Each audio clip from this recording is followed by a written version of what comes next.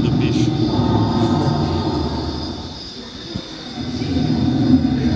Aqui no Museu de História Natural de Londres.